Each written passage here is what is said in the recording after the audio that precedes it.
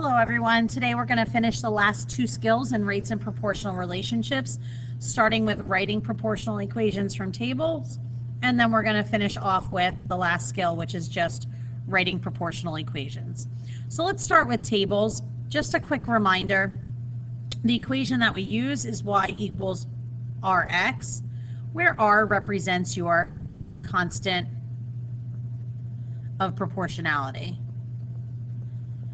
And just a reminder to find our constant of proportionality, we're simply just taking y and dividing it by x. And remember, your constant of proportionality is just really a unit rate. So it says the following table shows a proportional relationship between x and y. Write an equation to describe the relationship between x and y. So I'm just going to write my formulas down. y equals rx, where r equals y divided by x. So the first thing we want to do is find our constant of proportionality. So I'm just going to plug in y. Let's, we'll use this first row here. So 9 over 2. Now you can leave it improper. You can convert it to a decimal, which would be 4.5. I'm going to leave it um, as an improper fraction for now. And now that we know what our constant is, all we're doing is just plugging it into our equation. So our proportional equation would be y equals 9 over 2 x. Let's try another one. Okay, the following table shows a proportional relationship between A and B. Write an equation to describe the relationship between A and B. Now, they're not using X and Y anymore, but they would still function the same. So let's say A is where X would be and B is where Y would be. So instead of our formula of Y equals Rx, instead our formula would be B equals R a. So let's use our first row to find our constant. So instead of y divided by x, it's going to be b divided by a, which means our constant of proportionality is going to be 3 eighths. And again, we're just going to leave that as a proper fraction and plug it into our equation. So our equation here is going to be b equals 3 eighths a. Let's try another one. The following table shows a proportional relationship between W and Z. Write an equation to describe the relationship between W and Z. Again, this is similar to, to one that we just did. So W really is kind of functioning like your X would, and Z is functioning as your Y. You've got your input and your output. So to find our constant of proportionality, instead of Y over X, we're doing Z over W. So let's use that first row there. So I'm going to plug in 2 where Z is and 18 where W is. And just keep in mind, I can simplify this because they're both even numbers, which means I can divide them both by 2. So that's going to give us a constant of proportionality of 1 over 9. Now our equation formula is normally y equals rx, but instead we're using w and z. So we're going to plug in z where y is.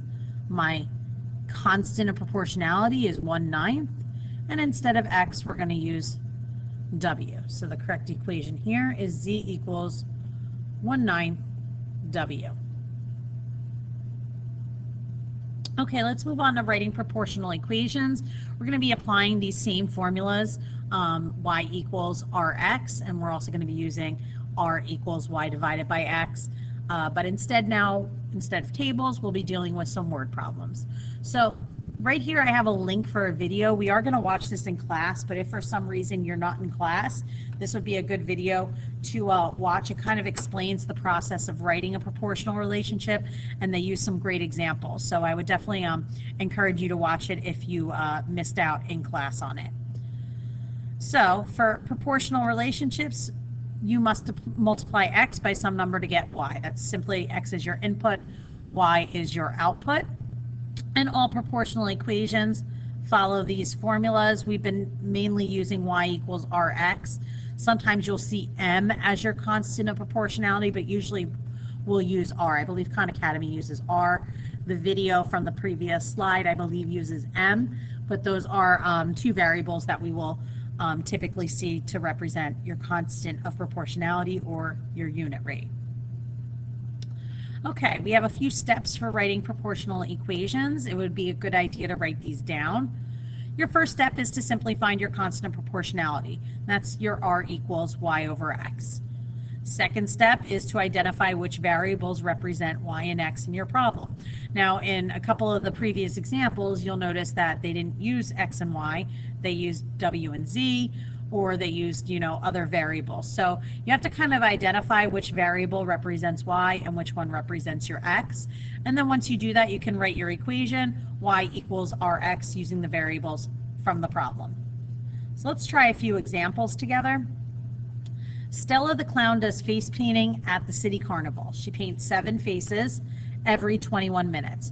Write an equation that relates the number of faces she paints, X. I'm just going to underline that. And the time she spends painting, Y in minutes. So here they're giving us X and Y, which makes it a little bit easier. Our first step is to find our constant of proportionality, where Y represents our minutes and X represents the number of faces.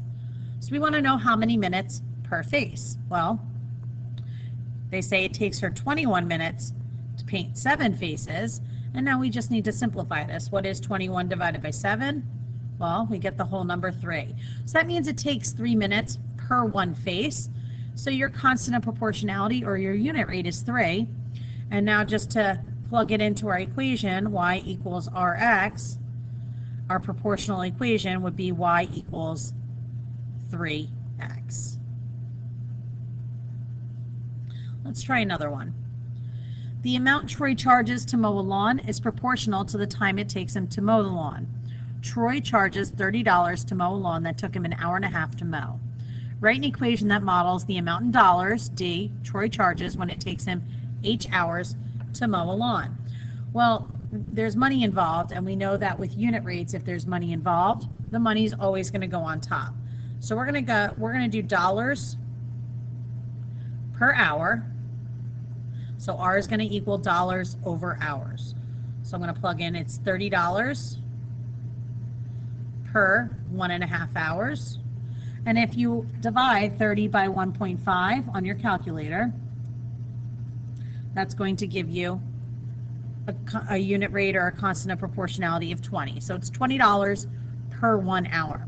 So now, notice, normally your top variable would be your y over x. So in this case, d is functioning as your y.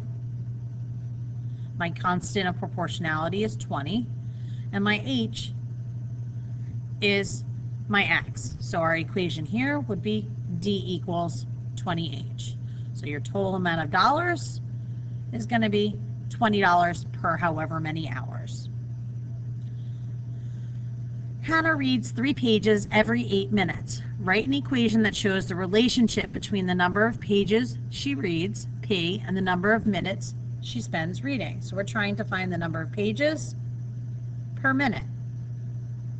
So I'm just going to write my keywords, pages per minute.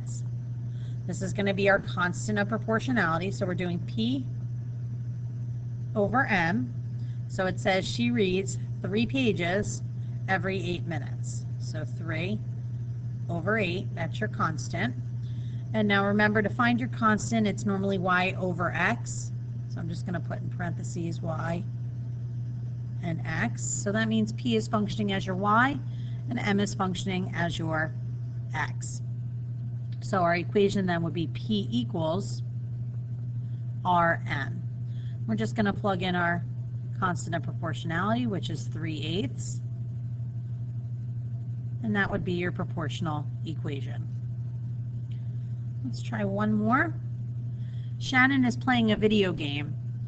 She spends 500 minerals to create 20 workers. Each worker costs the same number of minerals. Write an equation to describe the relationship between M, the amount of minerals, and the number of workers. So we're doing minerals per worker. So R equals M over W, which means your M is functioning as your Y, and your W is functioning as your X. So let's plug in what we know. It says 500 minerals per 20 workers. So if we divide 500 by 20, that gives us a constant of proportionality of 25. So that means 25 minerals per one worker. Now we're just going to plug it into our equation. Instead of y equals rx, we're going to do m equals rw. So m stays. My constant of proportionality is 25, and w is going to stay as our variable. So this would be our equation. Okay, the correlating note-taking packet pages would be pages 25 through 27. And again, there's always the uh, videos in Khan Academy if you would like to see additional examples. Thank you, everybody. Have a great day.